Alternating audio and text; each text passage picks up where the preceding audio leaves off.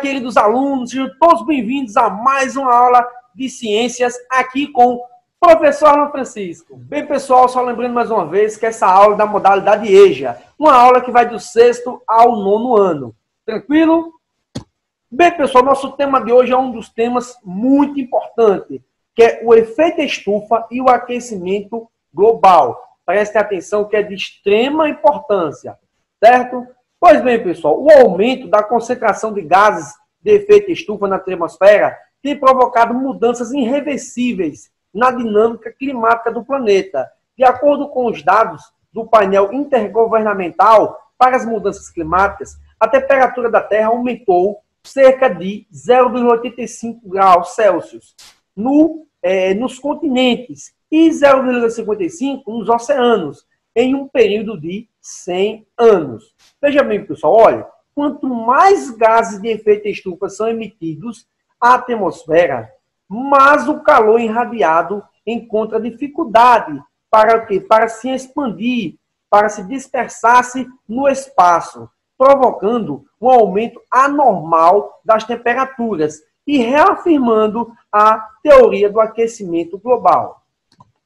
Bem, pessoal, o que é efeito estufa? De maneira geral, pessoal, efeito estufa é um fenômeno natural que extrema importância para é, a existência da vida na Terra. Ele é responsável por manter as temperaturas médias globais, evitando que haja grande amplitude térmica e possibilitando o desenvolvimento dos seres, seres vivos, certo? Esse fenômeno, no entanto, tem se agravado pela ação atrópica, que tem elevado as emissões de gases de efeito estufa à atmosfera, provocando alterações climáticas em todo o planeta. Essa grande concentração de gases dificulta que o calor seja devolvido ao espaço, aumentando consequentemente as temperaturas do planeta. Como funciona o efeito estufa? Pois bem, pessoal, o Sol ele emite um calor à Terra certo? Parte desse calor é absorvido pela superfície terrestre e pelos oceanos. Outra parte é devolvida ao espaço, certo? Contudo, uma parcela da radiação solar irradiada pela superfície fica retida na atmosfera, em decorrência da presença de gases e efeito estufa, que impedem que esse calor seja devolvido totalmente ao espaço. Dessa forma, mantém-se o equilíbrio energético e evitando-se grandes amplitudes térmicas, como está explicando aqui muito bem essa fotozinha ao lado direito aqui, pessoal, olha, certo? Vamos mostrar de maneira geral um exemplo clássico, assim, no dia a dia, como que a gente pode ver. Veja bem, pessoal, olha, para exemplificar melhor, imagine um carro estacionado em um dia bastante ensolarado os raios solares atravessam os vidros e aquecem o interior do carro.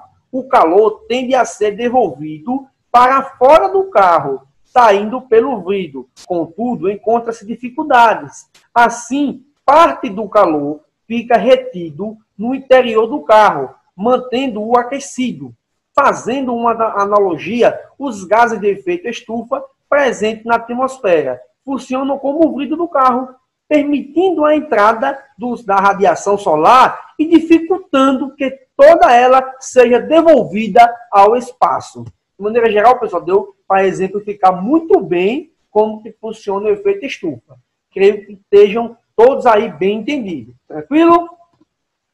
Vamos ver aqui, pessoal, alguns gases do efeito estufa. Os principais, aqui temos dióxido de carbono, certo? O que é um dióxido de carbono? Ele é um gás de maior abundância na atmosfera. A queima de combustíveis fósseis é uma das principais atividades responsáveis por emitir esse gás.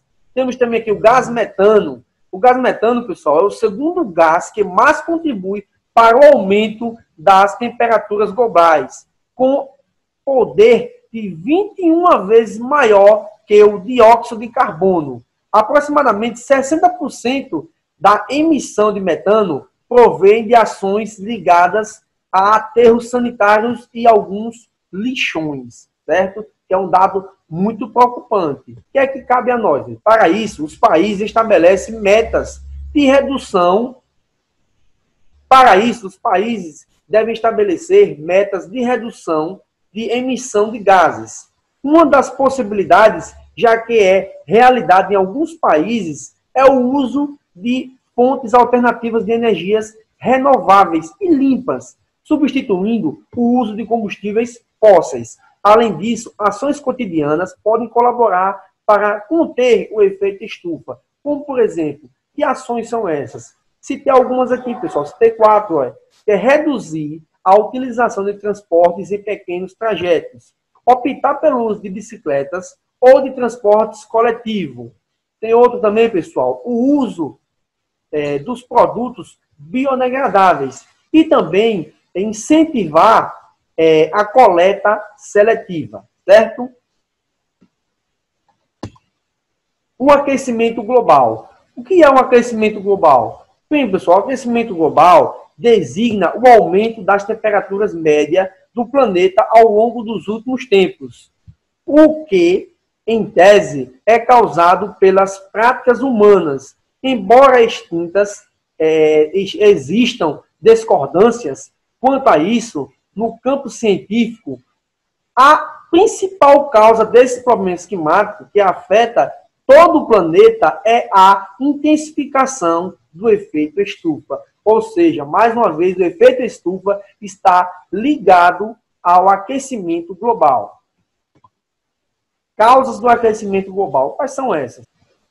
As principais causas do aquecimento global estão relacionadas, para a maioria dos cientistas, com as práticas humanas realizadas de maneiras não sustentáveis, ou seja, sem garantir a existência dos recursos naturais e do meio ambiente para as gerações futuras. Assim, formas de degradação ao meio ambiente, como a poluição, as queimadas e o desmatamento, estariam na lista é, dos principais elementos causadores desse problema climático. Certo, pessoal? Essas poluições aí nos rios, essas queimadas, esses desmatamentos acabam que é, é, vão destruindo muitas coisas e provocando esse aquecimento global.